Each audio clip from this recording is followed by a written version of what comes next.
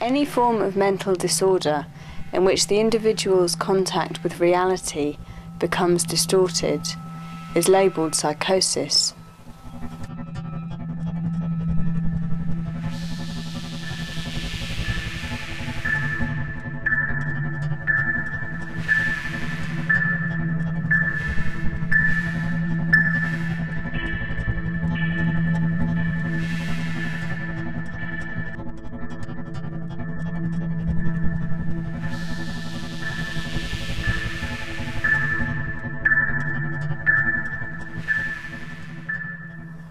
Reality is defined in the dictionary as the state of things as they are or appear to be, rather than as one might wish them to be.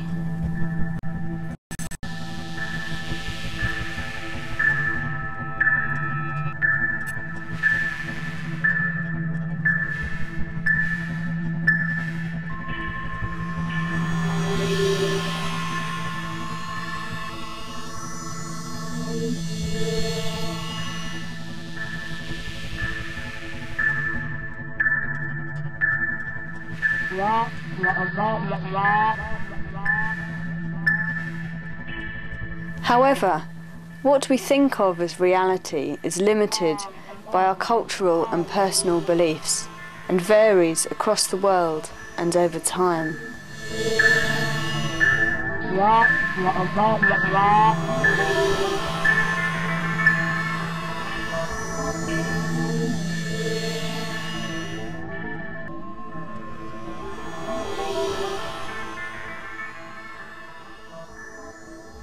Psychiatry treats mental illness with medication, aiming to bring people back to a perceived sense of normality. How do you see reality? it's, uh, I don't know, a pretty, pretty profound question to start off with, isn't it? How does anyone see reality? But um, well, according to Buddhist understanding, um, no one actually sees the true nature of reality. Uh, our minds, because of certain delusions in our mind, obscures the actual reality uh, that you know that exists, it's existent nature. You know, simple examples such as like food which is you know, an easy example to understand. Certain foods we love, certain foods we hate. We think the food I hate is really disgusting from the side of the food. It's something that is horrible. If that were true, then everyone would have that same experience, but they don't. They have completely different experiences. So you're going to say, well, what's actually there? Is there anything that is there? And we start to investigate, you actually can't find anything at all because it just is an appearance to mind, just like, just as in a dream. Hmm. All this thinking about food is making me hungry.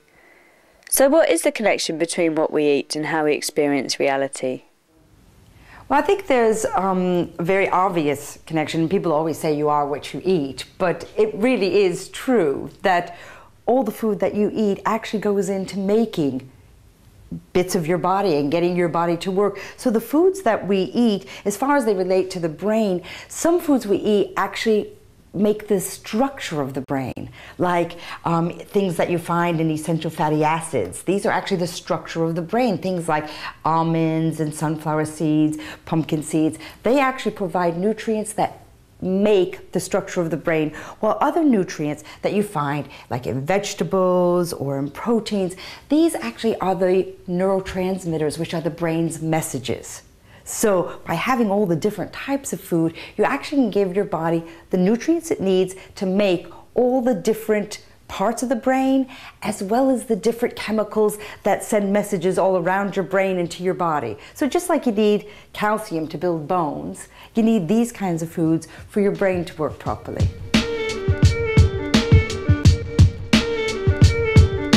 I specialize in the area of mental health, and I would say a vast majority of my clients, 50, over 50%, have some type of schizophrenia or some psychotic type of illness. The rest are um, suffer from depression, manic depression, obsessive compulsive disorders, and all these different types of mental health problems can be caused by a variety of factors that can be manipulated through nutrition. I wonder how many of us keep the right balance of nutrients to ensure optimum mental health. the average diet is deficient in really important nutrients for the for the brain. Um, one of the key nutrients for the brain is actually zinc, and um, any survey done on people's diets is notoriously low in zinc. And the kind of places you find zinc are things like pumpkin seeds or oysters. And how many people eat much of this? So these are, pumpkin seeds are really important for eating in order to have enough zinc for your brain. Okay, zinc is particularly associated with depression. Fancy a nut? Under the 1983 Mental Health Act, people can be detained and medicated against their will. This is known as being sectioned and can only be enforced in the interest of the patient's own health or safety or with a view to the protection of other people. Contrary to popular belief, most psychotic people are not violent. According to government statistics, you are 13 times more likely to be killed by a sane person you've never met before than by someone with a mental health diagnosis. Despite this, the government wants to bring in new laws to increase compulsory detention and introduce forced medical treatment in the community. Under the current Act, a person can only be forced to take medication whilst in hospital. Under the proposed reforms, anyone who refuses whilst in the community can be forcibly medicated. People's human rights are violated every day in these hospitals all the time and um, they go unrecognised. Um, and the things on the back of the t-shirt express very clearly what happens to someone once they've linked in with the mental health system as it stands. Lots of discrimination, control, social control, mind control. And through experience, I've realised that there is really no care and treatment of mental health as such that that is beneficial. Most of it is locking people up on wards and diagnosing them with a mental illness and then feeding them drugs and injecting drugs and then they they come out back into the community but, but maybe worse off than they were at the start. We are demanding the right to be listened to. We're reclaiming our own voices. We have witnessed and experienced injustice in psychiatry. We're demanding the right to have choice about our lives. We are the public. The kind of medical model pigeonholes people. You know, people don't see the person, they see this diagnosis. So, I mean, I got a diagnosis, I was given a diagnosis of schizophrenia. So people stopped seeing Rufus, they started seeing schizophrenia.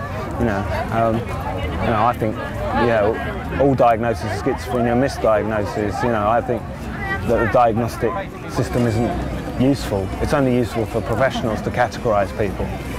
Coming off the medication, you go through a kind of withdrawal psychosis or mania, and um, but they'll say, oh, it's the illness coming back, you need to be back on your medication. When in actual fact, it's more complicated than that. And it's about your body trying to get used to not being on the drugs again. And it's like, it's like coming up after being suppressed. So you go through this sort of mania. And I was lucky that I was with uh, friends and they didn't panic and uh, call the doctors out. So I was allowed to just go out walking late at night and um, wake friends up and tell them crazy ideas. And people didn't catastrophize it into saying you're, you've lost it and you need to be back in hospital. Been a psychiatric patient and I am now working in the system. I'm a clinical psychologist. So I've been on both sides and um, I've been forced to take medication that I didn't want to take. Sorry?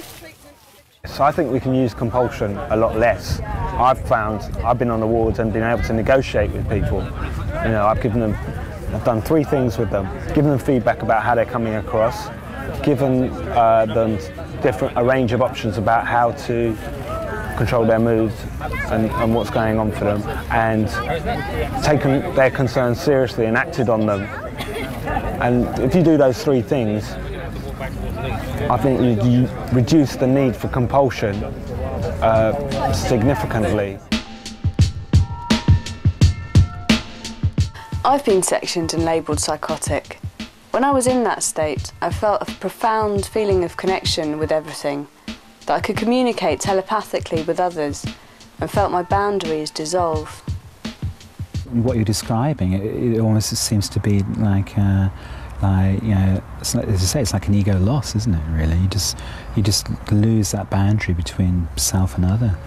Um, and that's precisely what we're trying to do within within Buddhist meditation. But you know, because we're doing it on a very gradual basis, under you know very um, I don't know, say controlled environments.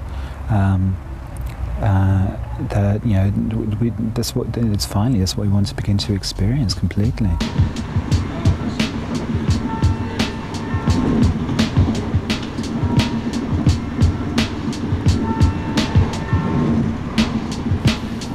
Searching for more information on the connection between psychosis and spirituality, I came across the Schizophrenia and Shamanism website. Intrigued, I went to go and find out why it was set up. What were the experiences that led you to set up this website? All right, well, I'd, I'd gone psychotic myself and been sectioned, gone through all of that, uh, put on medication very much against my will. And then I'd gradually wean myself off the medication. And a few months later, I went psychotic again. I didn't want to end up in hospital again, so I actually ran away and found the space and the time to really build up some techniques that helped me to cope with the psychosis and ultimately to get through it and back to ordinary reality. And I felt that I really wanted to set up the website to give that information to people that might want it so that if they were in a similar position, they'd be able to perhaps try these techniques and maybe they might work for them. What is shamanism? It's a way of moving in between different realities, generally with the purpose of causing change in ordinary reality, um, mostly for healing, really, historically.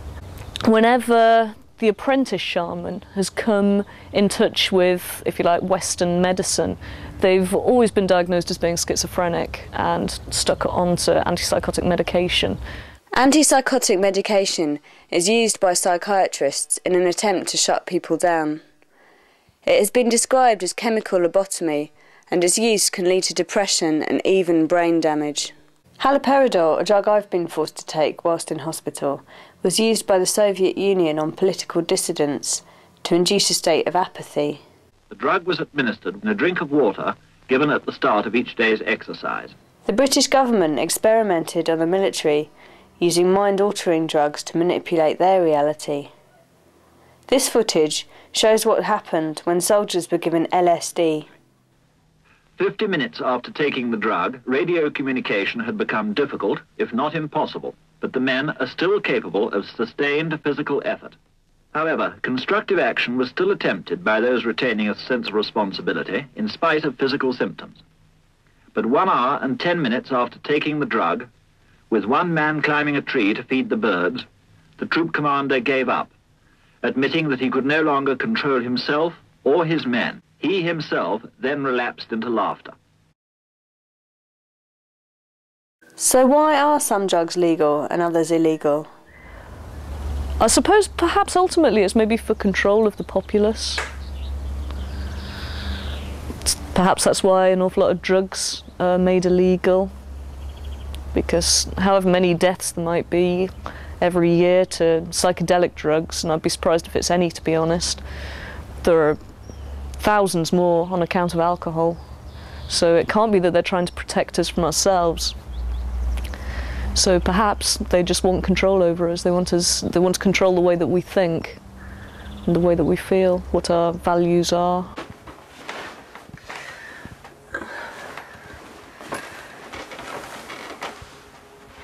What are you doing, Mel? I've lost my mind, but I found this book.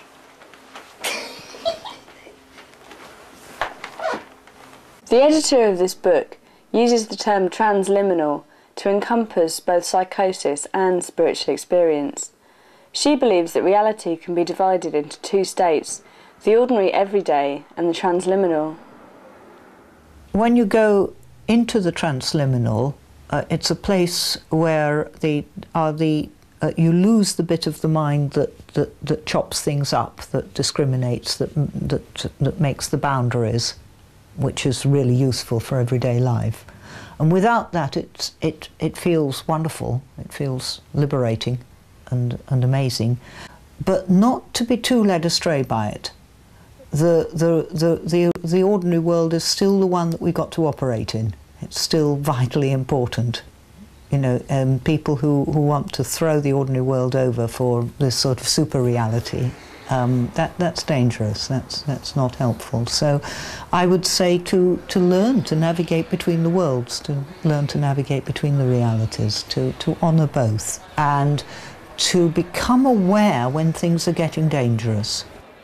If I meet somebody who has had some experiences which are obviously in, uh, spiritual experiences that are really important to them, but which then led on to you know unpleasant persecutory experiences, um, I, am probably one, about the first person who will validate the good experiences and say yes, that is important, and yes, that's um, you know in line with the, the, the great spiritual traditions. And I think that's quite important for people because things that have been really meaningful in their lives, I think there's a bit of a danger that the, the medical system sort of rubbishes it by, by saying, well, that's just part of your illness. So um, the first thing I do is to, to try and un un undo some of that damage. And I usually negotiate a language with people. Concepts like shared reality and non shared reality I find helpful people can usually realize that when they're um, operating from something that medically would be called a delusional system, um, though they themselves are very convinced about it, they do recognize that not everybody else sees it in the same way. So, how can I prepare myself for travelling in other dimensions? To be in touch with other people who are interested in this sort of thing. Um, a, a, spiritual tradition is, is helpful for this. Um, I would go for a sort of groundedish spiritual tradition. Doesn't matter which one, but you know, I, th I think that that can be helpful. Um, I think where you you know that you've got a danger of going too far into the transliminal and getting lost there and that sort of thing. I think to to note down the danger signs for yourself, to have a list of them, and maybe think how many um, you know if this say say you did a list of 10 signs of what tends to happen when things start to go go pear-shaped um, think how many have to be in place before you really do need to start to take action to shut yourself down rather than get yourself shut down officially.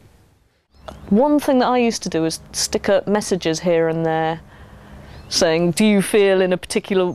Are you feeling a particular thing? Well, guess what? You know, maybe this has happened," and that can be enough to shock me into realizing that I have actually gone psychotic, if you like. I have started experiencing that, and then, as well as those those uh, stickers saying, you know, are, are, you feeling this way? Are you experiencing this?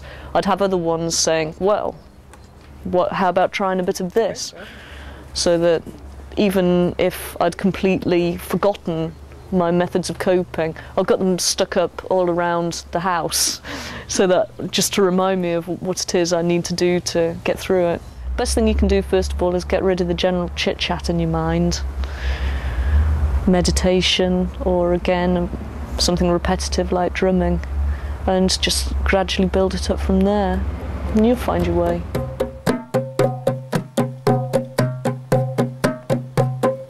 The thing that works the best for me is drumming, uh, repetitive drumming on hand drums. The reason I thought of it was just through reading about shamanism and seeing the ways that they cope with it and trying them out myself. It doesn't even have to be on hand drums actually, you can just do it on your legs, uh, but you have to get completely into it and just let yourself go with it.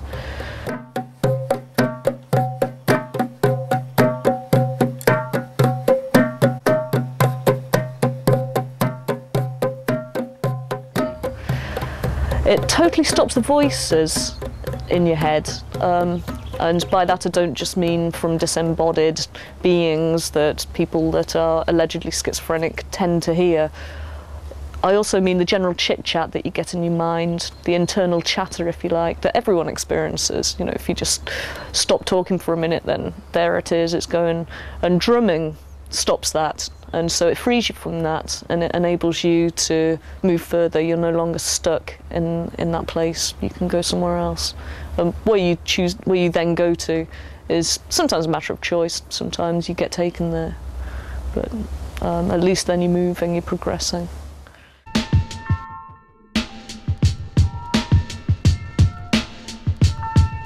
Just remember, folks, an apple a day keeps the doctor away.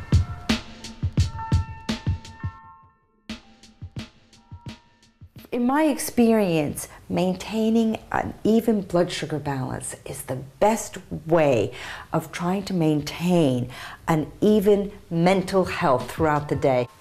So, what is blood sugar?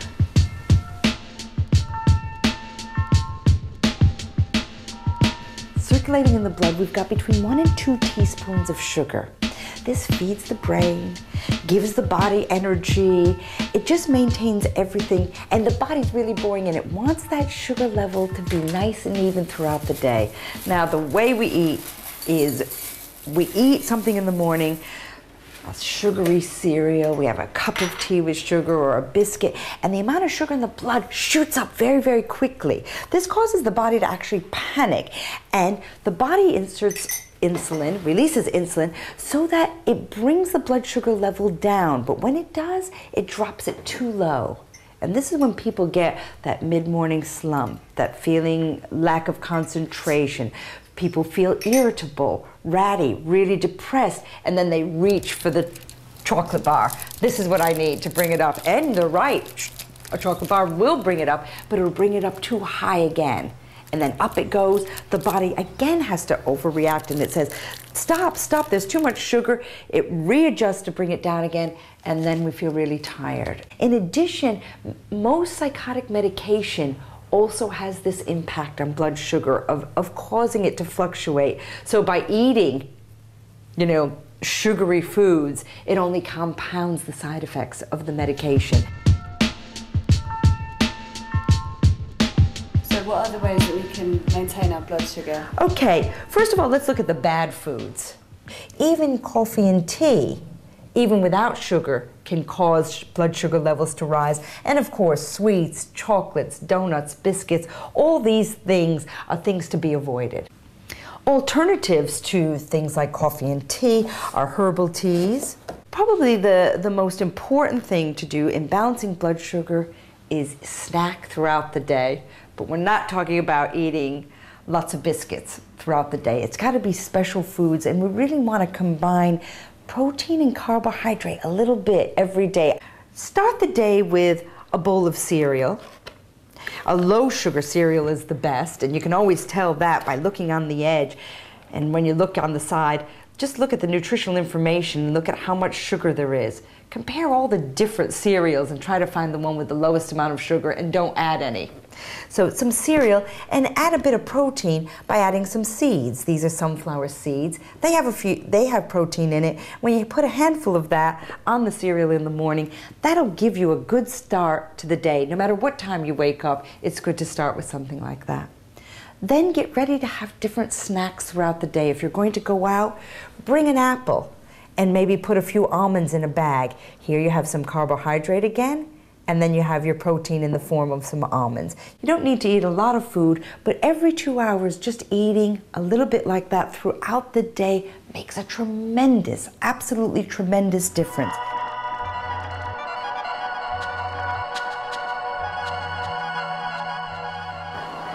When I'm in a psychotic state, I realise just how magical, mystical, and meaningful life really is.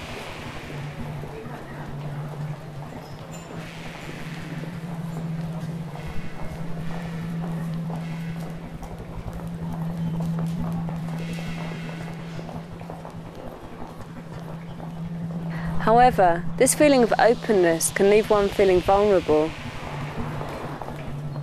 Now, that sense that, that the person is under threat might be real or it might, might not. It might be something out of the memory or, or, or something. And the state of high arousal doesn't help the person to sort out whether it's real or not. Because in such a state, uh, the mind goes into tunnel vision and people are only really looking for threat. So you can get into a vicious circle there.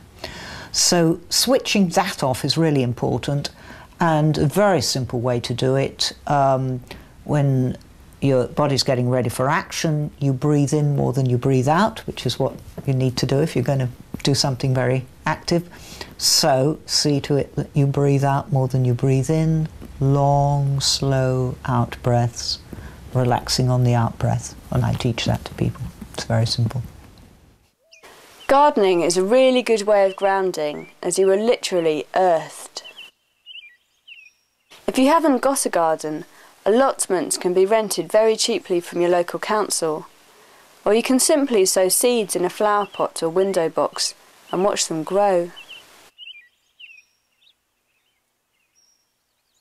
Not sleeping is a sign, you know, things are getting, getting out of control very often for very many people. So that where somebody can't sleep and things are racing, and uh, I, I would suggest not getting too hung up on sleep, but being really keen on rest. And even if it's boring and there's, you know, you could be out there changing the world, put on some chill music and just, you know, rest through the night, even if you're not going to sleep. If you're feeling tense and agitated, massage can be very helpful. Some people also find aromatherapy, acupuncture, and herbal medicine to be of great benefit. Go for long walks, not in any particular direction, but just where you feel like going at the time. If you're in a city, try and get out to the country and just walk and walk and notice everything on your path. Try and get rid of the general chit chat in your head and don't blame yourself for everything. You're doing the best that you can.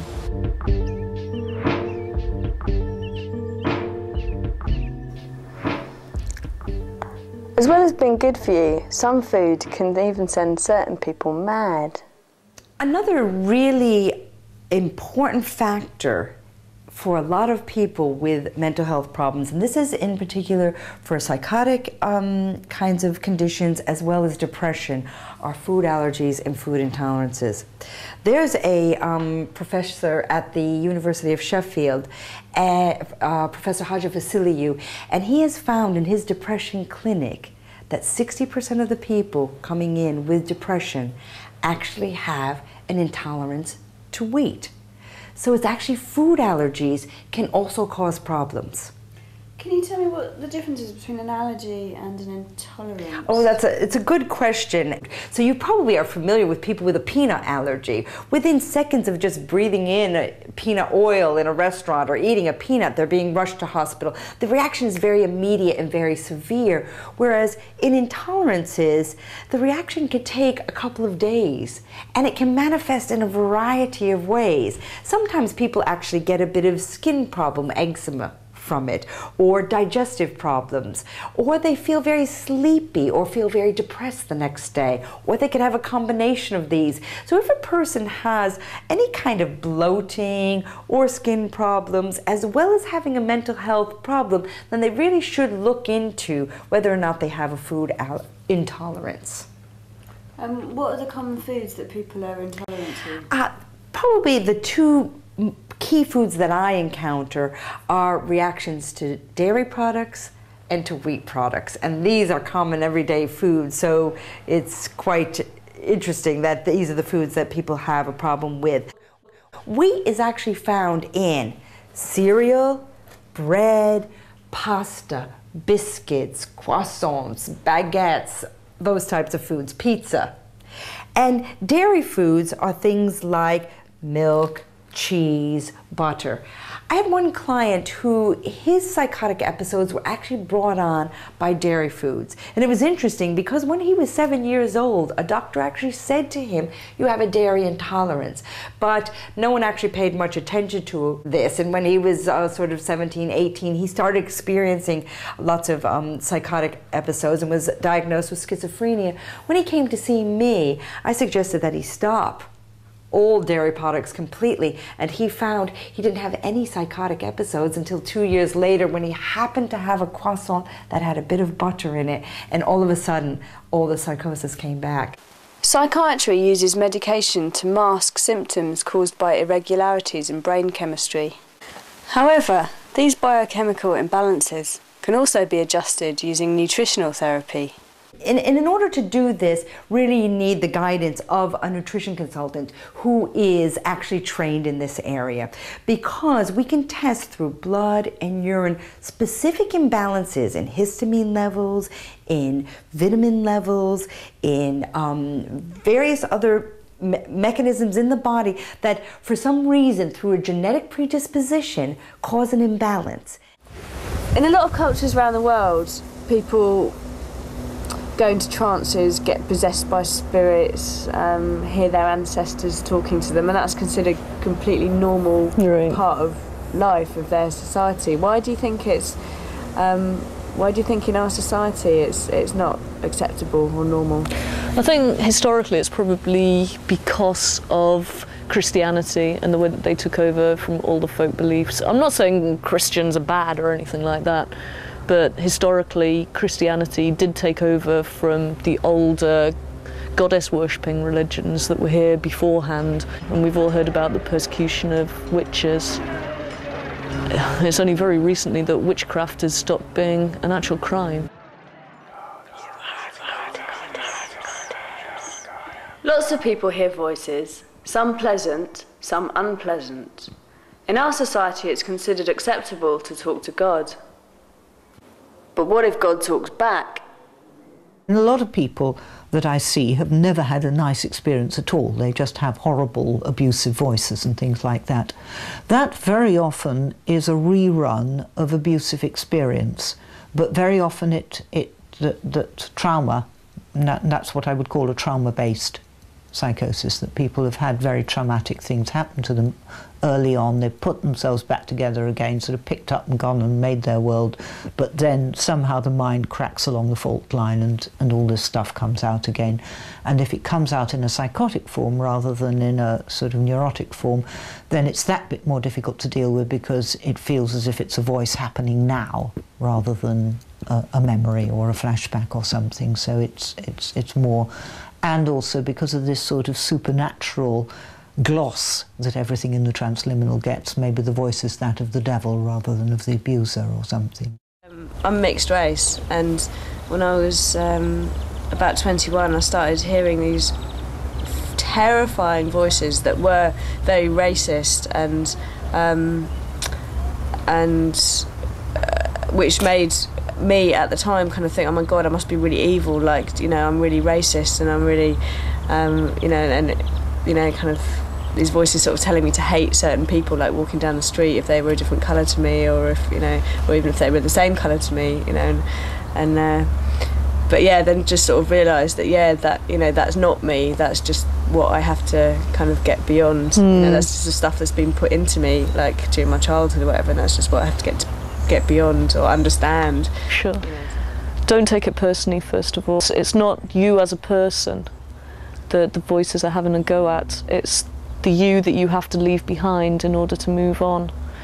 And try opening up a channel of communication. Try talking back and maybe explaining that you don't find what the voices are saying to be helpful and presumably that voice is there to help you. Why else would it be hanging around? If it's there for any other reason, just get rid of it. Ask it to leave or ask it to stay and help. I would say that perhaps rather than trying to shut things out of your mind, if you really focus on them, if you've got a particular being that you're seeing all the time, rather than trying to run away from it, stop and draw it, totally immerse yourself in it, and try and recreate it there. And once it's on the page, then it's not so frightening. And to remember places that you've been in other realities, very often poetry is a really good way to remember the state of mind that you had when when you wrote that rather than writing a factual diary. Poetry can be a really good way to remember these places and visit them again very often. So, what are three things that I could do to, to improve my mental health? Okay, I'd say three most important things. Number one, get rid of all sugar and stimulants and coffee and tea. Get that out of the diet. Number two, have lots of variety of fruit, vegetables, nuts, and seeds. And number three, take a good multivitamin. The best way, if you've been psychotic before and you're a bit scared of going that way again, but you still want to explore those realities, is to do it gradually and gently. and how, how would you do that? By, personally, I would do it by drumming repetitively on hand drums, and I mean for a period of a number of hours, really. Quite often, me and some friends, we go up the woods and we do it there, either on drums or just on a tabletop there. And if you keep your paths to those other worlds open, then they don't all build up and have to force themselves on you. Are there shamans in this country? There are. Uh, it's, it's, it's not the kind of thing that's actually there, there aren't like recognised shamans in the way that you have recognised osteopaths or something like that. So anyone can call themselves a shaman, even if really they're not. So you do have to be aware of that. Uh, so it probably is well worth contacting people if you know of one locally and kind of judge for yourself whether or not they can help you. But having said that, there are characters that you'll meet in other realities that'll help you through. You don't need to be apprenticed to a physical shaman in order to learn the techniques and things to get through this. Uh, dream beings, beings from other realities will come and help you through. When, when we're under the influence of like a heavy black cloud, deep depression, or you say psychosis, um, it's, it's try not to identify with that Try to think, this is me. Because that's the problem. We think, you know, oh, I'm, you know, I've gone mad. I, I can't, you know, I can't cope. But it was, it's just the kind of thing. But it's just an appearance to mind. Meditation is often recommended as a way to calm and control one's mind. But just how do you meditate? Uh, a very simple breathing meditation. So you just try to kind of sit comfortably any way you can. Uh, most, you know, you don't have to sit cross-legged or anything like that and sit on a chair. just be comfortable. Close your eyes gently and then we just try to locate the sensation of each breath as you can feel it within the nostrils. So it's quite a subtle physical sensation. And again, just breathing gently and normally, you're not trying to control the breath in any way at all. Um, and then just simply focus on that. And what you will find is that immediately you can't hold on to it. The mind just starts moving off somewhere else. Another thought comes up and you get distracted. But that's okay, you just bring the focus back onto the breath again. Hold it, you get distracted again, just keep on bringing it back. It's that bringing it back that's actually developing uh, concentration. Once you know the mind stops going, then you just simply hold the mind on the breath, concentration on the breath, and, and again, just you just pay no attention to what's going on in the rest of your mind. And what you will find is gradually that those thoughts and feelings and turbulence just begin to die down. And you're left with a, a feeling of extraordinary spaciousness in the mind.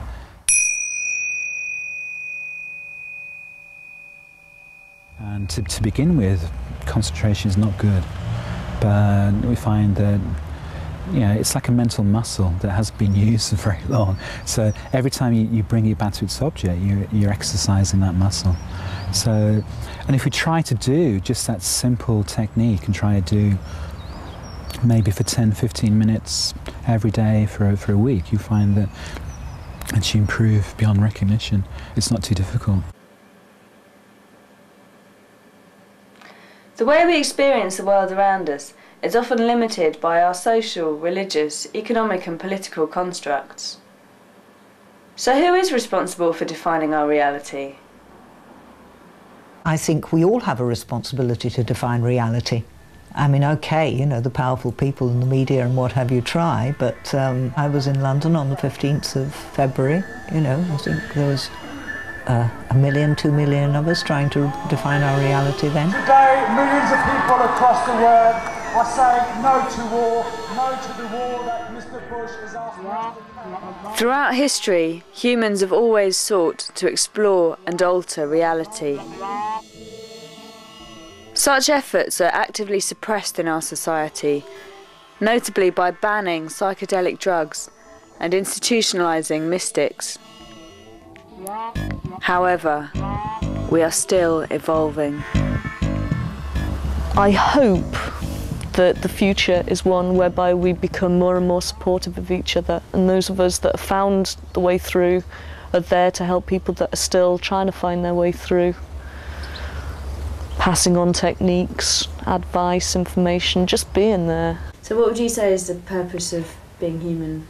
I think it's a, I think it's a tightrope act. I think it's a balancing act.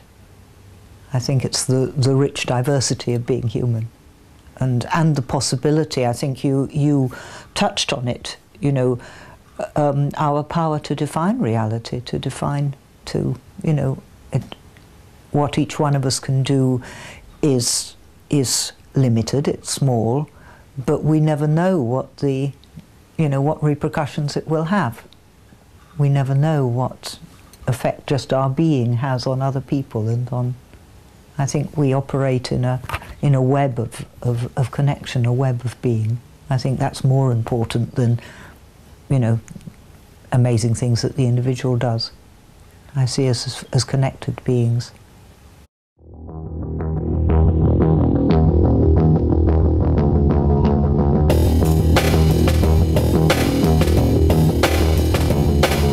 I've been sectioned and labelled psychotic. When I was in that state, I felt, I felt I've been sectioned and labelled psychotic. I've been sectioned and labelled psychotic. Believe it or not.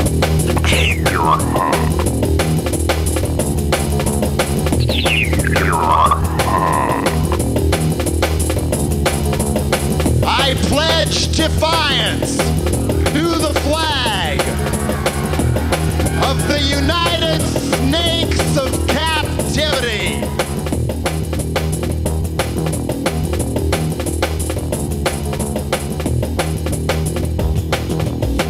One nation under God or else. One nation under psychopathic Pentagon gangsters whose idea of national security is concentration camps for people who dare to use the drugs that the CIA brings in and the government supplies themselves. I've been. Don't look at me. I've been sectioned and labelled psychotic. When I was in that state, you started smiling.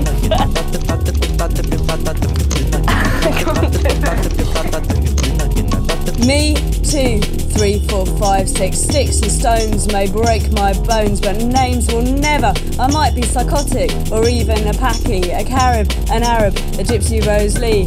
I think I know who I want to be. A masala of surprises, a free floating dream. Cause things are never quite what they seem. Rainbow of possibilities, moon and the sun. Skipping between worlds, a goddess having fun. I'm a zebra, a panda, a piebald pony. If you speak to me softly, my name means honey.